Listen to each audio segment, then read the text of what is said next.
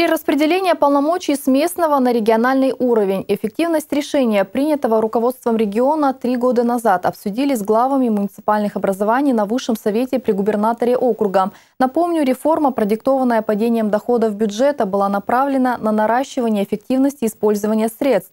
Как показало обсуждение, вопросы остаются как у глав муниципалитетов, так и руководителей исполнительных органов власти субъекта.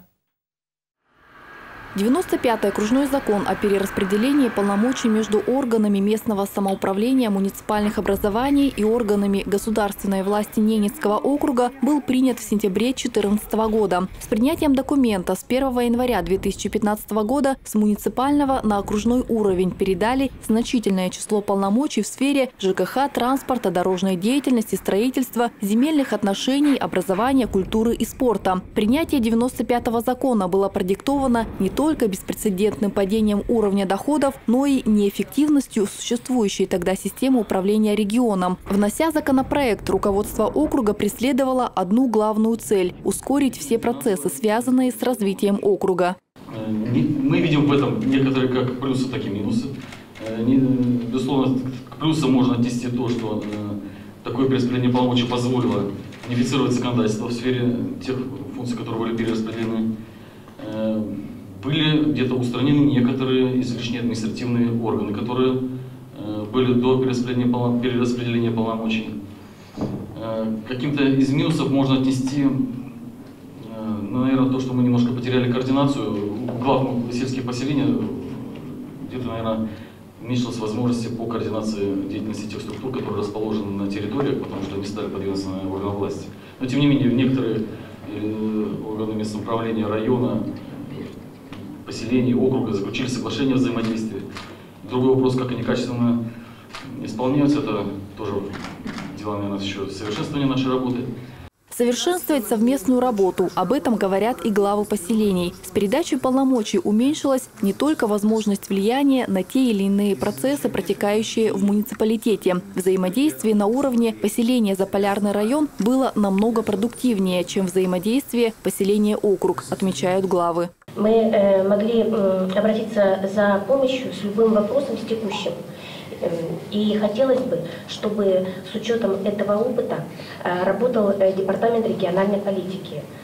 Он работал бы не просто как руководитель, а как старший товарищ, который реально может помочь понимали, что если мы обращаемся с каким-нибудь вопросом, то обязательно данный вопрос будет решен отдел был как вот иголочка с ниточкой, то есть э, они нас связывали между руководителями, учреждениями, теми или иными специалистами. Помощь, конечно, была очень хорошая. Если мы вернемся к этой практике, которая была системно налажена, я думаю, всем будет только от этого очень хорошо. Спасибо. С передачей полномочий главы поселений надеялись и на то, что теперь не будет проблем с финансированием, будь то выделение средств на текущий ремонт или обновление материально-технической базы учреждений. Ожидания не оправдались. Если говорить вкратце, то таким, по словам руководителей территорий, оказался трехлетний итог управленческого эксперимента под названием «Перераспределение полномочий». 85% того, что вы сказали, никак не связано с перераспределением полномочий. Вы говорили о проблемах, которые существуют, которые можно решить, но ни одна из этих проблем не решится перераспределением полномочий. По выделением дополнительных средств – да. Выделением дополнительного внимания к тому или иному вопросу – да.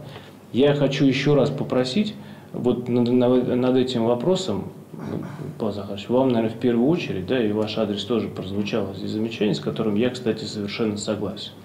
Вот ваша основная задача вашего департамента – держать руку на пульсе того, что делается в каждом из муниципальных образований. Вот если хотите, я при всех вам даю поручение, чтобы минимум два раза в неделю с каждым из глав вы разговаривали по телефону и узнавали, что происходит и какие проблемы и что надо делать. В свою очередь спикер собрания депутатов Анатолий Мяндин выдвинул еще одно предложение, которое касается дальнейшего обсуждения 95-го окружного закона.